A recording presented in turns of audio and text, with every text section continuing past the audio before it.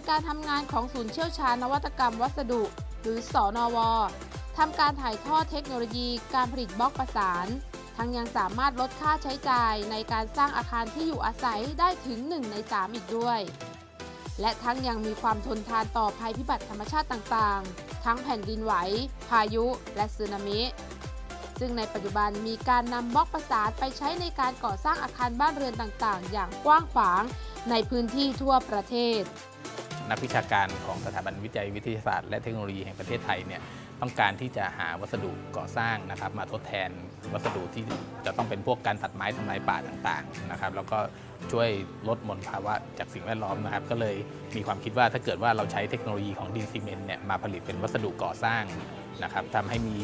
การก่อสร้างได้ง่ายขึ้นราคาประหยัดขึ้นเนี่ย ก็จะน่าจะใช้ทดแทนในเรื่องของการตัดไม้ทำลายป่าได้ดี ก็เลยมีเป็นจุดเริ่มต้นของตัวบล็อกประสานนะครับเราก็จะใช้เทคโนโลยีดินซีเมนต์เข้ามาทำการผลิตอัดเป็นก้อนออกมา แล้วก็เป็นนำออกมาเป็นวัสดุก่อสร้างที่สามารถใช้วัตถุดิบที่มีอยู่ในท้องถิ่นต่างๆนะผลิตได้ด้วยตัวเองในราคาประหยัด แล้วก็สามารถทำใช้ได้ตั้งแต่ในครัวเรือนจนถึงระดับอุตสาหกรรม ตั้งแต่เริ่มแรกเลยในการผลิตนะครับเราจะเราจะเริ่มจากตัวการใช้ตัว ดินลูกลังนะครับทรายหินฝุ่นนะครับผสมกับปูนซีเมนต์แล้วก็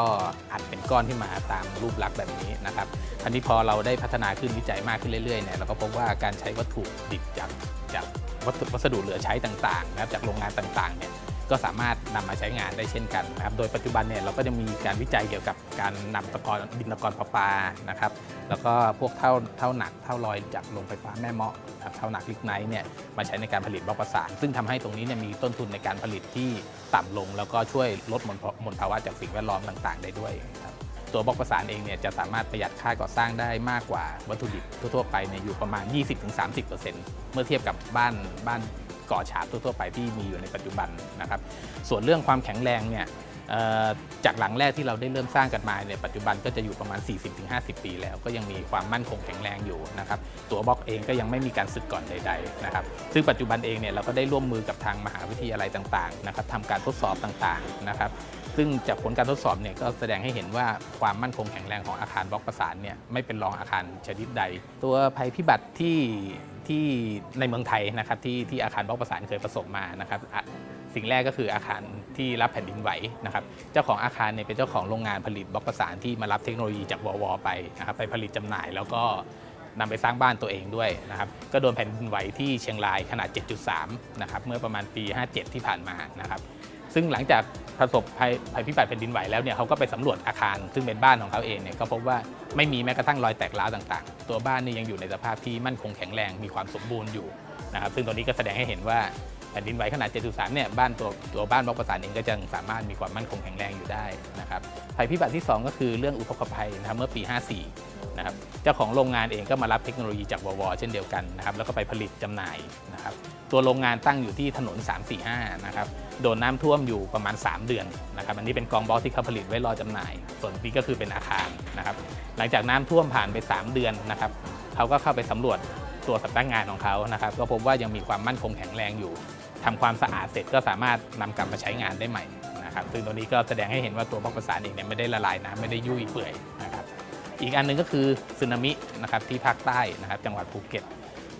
มีจะมีอาคารสองหลังให้เห็นนะครับหลังด้านหน้านี่ก็คือเป็นอาคารเสาคาน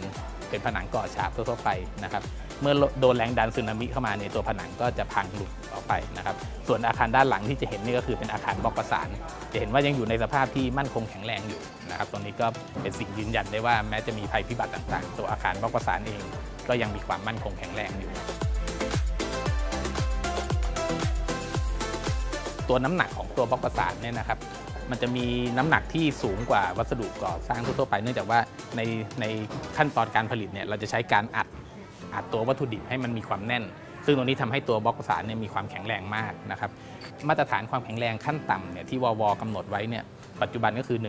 1 1ตารางเซนติเมตรจะต้องรับได้ไม่น้อยกว่า 70 กิโลกรัมนะครับบล็อกประสาน 1 ก้อนเนี่ยจะมีหน้าตัดประมาณ 312.5 ตารางเซนติเมตรเมื่อคูณด้วย 70 กิโลกรัมเข้าไปก็คือประมาณ 21 ตัน ก็คือ 1 ก้อนเนี่ยจะต้องรับน้ำหนักได้ไม่น้อยกว่า 21 ตันนะครับถ้าทียบเป็นมาตรฐานก็คือประมาณ 70 กิโลกรัมต่อตารางเซนติเมตรนะครับส่วนถ้าเป็นพระอิฐประเภทอื่นนะครับอิฐมอนอิฐซีเมนต์บล็อกต่างๆ ที่มีจำหน่ายในท้องตลาดเนี่ยตัวนั้นเนี่ยมาตรฐานกำลังเนี่ยจะอยู่ที่ประมาณ 30-40 กิโลกรัมต่อตารางเซนติเมตร ซึ่งจะเทียบจะเห็นได้ว่ากำลังนี่จะน้อยกว่านะครับเพราะฉะนั้นตัวบล็อกประสานเองเนี่ยเนื่องจากว่ามีกำลังที่สูง เวลาที่เราไปใช้ในงานก่อสร้างเนี่ย เราสามารถสร้างบ้านในระบบที่เราเรียกว่าเป็นระบบผนังรับน้ำหนัก ก็คือไม่มีเสาไม่มีคานใช้ตัวบล็อกเป็นตัวรับโดยตรงนะครับ แต่ว่าตัวอิฐที่เป็นอิฐมอนอิฐซีเมนต์บล็อกเนี่ยพวกนี้ไม่สามารถที่จะใช้สร้างบ้านในระบบของผนังรับน้ำหนักได้